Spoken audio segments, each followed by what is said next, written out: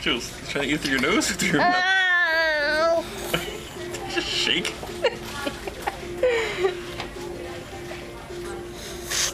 that apple good? Oh my goodness.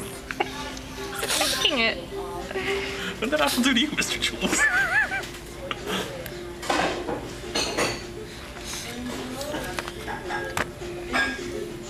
the whole side didn't even touch yet.